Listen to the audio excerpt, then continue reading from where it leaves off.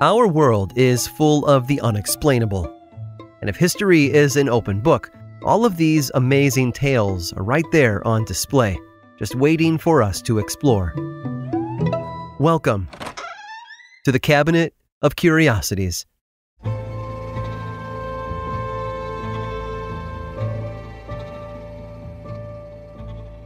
In war, each side will look for any opportunity to gain an advantage over the other. Hitler notoriously studied the occult for supernatural assistance in defeating the Allies. In fact, it's been theorized by some that the Nazi movement originated from occult teachings. As time pressed on, however, spellbooks and pentagrams took a backseat to good old reliable firepower and spies. Spies played an integral part in dismantling regimes and changing the geopolitical landscape. Nikolai Khokhlov had been a KGB agent during the 1950s, getting his start as a member of the People's Commissariat for Internal Affairs a decade earlier. As a member of the NKVD, Khokhlov had gone undercover as a Nazi officer in Belarus and participated in several assassination missions. Now an agent with the KGB, he'd been tasked with assassinating the leader of an anti communist group in Frankfurt. However, rather than use a standard pistol or poison to take out his target, he opted for something a bit more theatrical a cigarette pack that fired hollow nosed bullets coated in potassium cyanide. But by this time, Khokhlov had grown tired of his trade. Instead of killing the man, he instead warned him that Russia had put a hit out on him after that, the former assassin had no choice but to abandon his old life. He left his family behind and fled to America, where he spoke to newspapers and television reporters about his work with the KGB. He spilled all sorts of details about the work they were doing, an act of treason that almost resulted in his own murder. But Khokhlov survived and decided to use his second chance to go back to school. He registered at Duke University, where he majored in psychology. It was a whole new world for him, Sort of. A professor at the school, Joseph Banks Rhine, had been studying the far reaches of the psychological profession, namely ESP, clairvoyance, and telepathy. Khokhlov had some experience with these subjects back in Russia.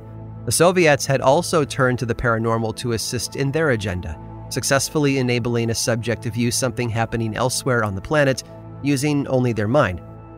Rhine and Khokhlov parted ways after the former KGB agent graduated. He soon moved to the West Coast to teach psychology at California State University, where he continued studying parapsychology, publishing papers on the subject, and giving interviews to various media outlets. Eventually, though, Khokhlov's former life caught up with him, but not in the way he'd expected. The KGB didn't come calling, but the CIA did. Around 1972, he was asked to help the United States government with a new program they were starting up, one in which U.S. soldiers would undergo various mind bending experiments. It was called the Black Project. The goal was simple expose soldiers to substances such as cannabis oil and LSD as a way to facilitate remote viewing, the same method of long distance sight the Soviets had allegedly perfected years earlier. It sounds silly that Congress would approve and fund an operation in which the American government would drug its own military personnel to trigger telepathic powers, but the reports being sent to Washington were promising. Over 20 years of study, about 25 people were a part of the Black Project. Their focus had been on spying on the Soviets from miles away. For example, if there was a site occupied by Russian forces, but no clear way for the Americans to get inside, the Black Project team was brought in to offer assistance. A remote viewer might get a vague picture of what would be on the other side, such as large containers filled with an unknown substance, which could prove the presence of biological weapons. One subject had repeated success with remote viewing. Joe McMoneagle predicted the construction of a new class of Soviet submarine long before anyone outside the project knew about it. Of course, the government experiments didn't stop only at enhancing the mind. There was also an emphasis on honing the body's capabilities. Scientists broke down prisoners of war until they were willing to cooperate, training them to focus their energy into something called the death touch.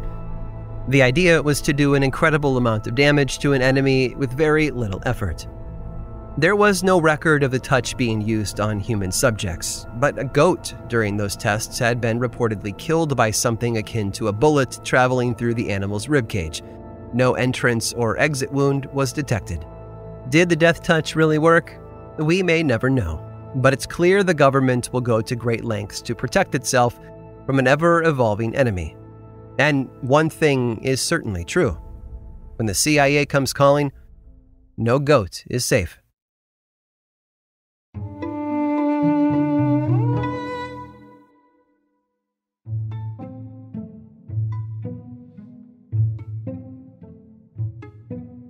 The call of fame and fortune is a tempting one. We see it every day in viral online videos and talent competitions on TV. Everyone believes they could be a household name if only someone would give their dreams a chance. Unfortunately, not everyone is welcomed in the spotlight. Sometimes they fall into obscurity and go back into their daily lives. Other times, they persist, grabbing a hold of anything they can to pull themselves up to the top. For the Cherry sisters, stardom came at a cost, one they seemed only too happy to pay. Elizabeth, Jessie, Addie, Effie, and Ella Cherry were born to Laura and Thomas Cherry in the mid 19th century Iowa. Their parents died in the 1890s, and their brother Nathan disappeared around the same time. This left the remaining sisters with few options, but rather than get jobs to pay the bills, they took a more creative route.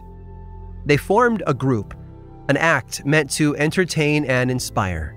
Calling themselves the aptly named Cherry Sisters, they started putting on performances for their neighbors. They wrote parodies of popular songs at the time, as well as original songs of their own, with Elizabeth and Jessie accompanying the others on piano and bass drum. They wrote skits about religion and politics, and read essays to the crowd they'd written themselves. Their neighbors were supportive of them, although they had to be. They lived close by. And when the sisters auditioned for an agent in Chicago, he brought them on almost immediately. But it wasn't because they were talented. No, it was because they were so very, very bad, and they had to be seen by others.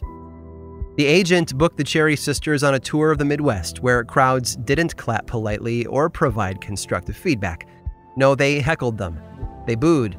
They lobbed tomatoes and rotten vegetables at them as they performed. One time, an audience member climbed on stage with a fire extinguisher and sprayed it directly in their faces. Soon enough, the Cherry sisters had to perform behind wire mesh to keep from getting attacked. You might think that that was the end of their roller coaster career, but the sisters were resilient. They pressed on, performing for people who didn't just dislike the act, they seemed to resent the sisters themselves. Well, everyone except one person Willie Hammerstein, a New York theater owner, was struggling to keep his new Olympia music hall afloat. He tried all kinds of acts to fill the seats, but nothing seemed to work. No matter how big a star he found, the crowds wouldn't show up. Then he found the Cherry Sisters. He brought their show to the East Coast, and despite the New York Times calling them four freaks from Iowa, Willie's plan worked. He saved his theater with an act too bad to be true. The sisters, though, didn't care much for New York. They wouldn't attend any party they were invited to, and refused to visit Coney Island so they wouldn't have to see women in bathing suits. Their self righteous moralism wasn't just an act either, they practiced what they preached. As they toured the country, reviewers from local newspapers continued to write incendiary things about the sisters. One newspaper in Iowa wrote a particularly scathing review that described their singing as, and I quote, the wailing of damned souls, and their appearance as that of three creatures surpassing the witches in Macbeth in general hideousness. Unkind, to say the least. Another paper, the Des Moines Leader, reprinted that article. The Cherry sisters could handle hecklers and the occasional head of lettuce thrown toward them, but they felt what the papers had said was beyond the pale. They sued both papers for libel, for a total of $15,000 in damages. The sisters fought the papers in court, even going so far as to perform in the middle of the courtroom as evidence that what had been printed was false. The judges did not agree. Instead, he ruled that a newspaper editor had the right and the duty to report the truth no matter how harsh it might be. The sisters' courtroom performances didn't seem to help their case. However, the sisters did leave a mark on the world, even if their act had faded into obscurity. Cherry v. Des Moines Leader is still used today as a precedent where the press is sued for printing honest criticism. No matter how offensive a review may be, it cannot be considered libel if the claims can be backed up. Their legacy is bittersweet. An act so terrible everyone tried to forget it, and a landmark court case that has helped protect the First Amendment for generations. It's just like the name they came up with for their act something good, something sad. I hope you've enjoyed today's guided tour of the Cabinet of Curiosities. Subscribe for free on Apple Podcasts or learn more about the show by visiting curiositiespodcast.com. This show was created by me, Aaron Mahnke, in partnership with How Stuff Works. I make another award winning show called Lore, which is a podcast, book series, and television show, and you can learn all about it over at theworldoflore.com. And until next time, stay curious.